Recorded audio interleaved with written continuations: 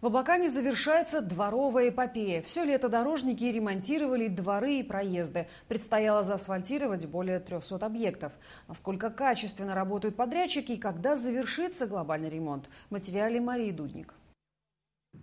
До сих пор некоторые городские дворы стоят в ожидании ремонта. Они подготовлены к укладке нового покрытия, но приступить к работе дорожникам мешают осадки. В тех же дворах, где ремонт завершился, жители уже забыли о разбитых тротуарах. Жители Молодежного ждали асфальтирования более 30 лет, поэтому новым дорогам рады и бабушки, и дети. Каждый день после школы в любую погоду мальчишки и девчонки спешат надеть коньки и вперед кататься по новому асфальту.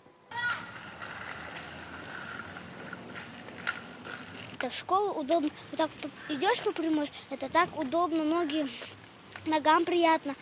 И как-то хорошо. Машины теперь так быстро не ездят, как на старом асфальте. Я каждый день катаюсь на роликах. Мне довольно пропуска. Мне очень нравится кататься на роликах. Спасибо тем, кто положил его.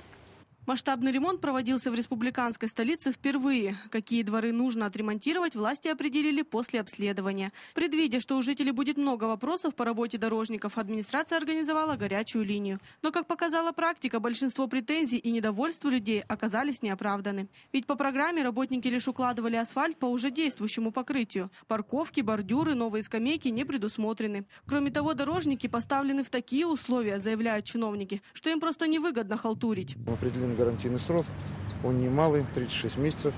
Они с этим ознакомлены. То есть э, и мы их предупреждали и в процессе работы, что если вдруг какие-то работы, вдруг мы каким-то образом можем просмотреть, если просмотрим, э, и они у нас э, отразятся в ближайшей перспективе, в ближайшее время, то восстанавливать будут, естественно, подрядчики уже за собственный счет.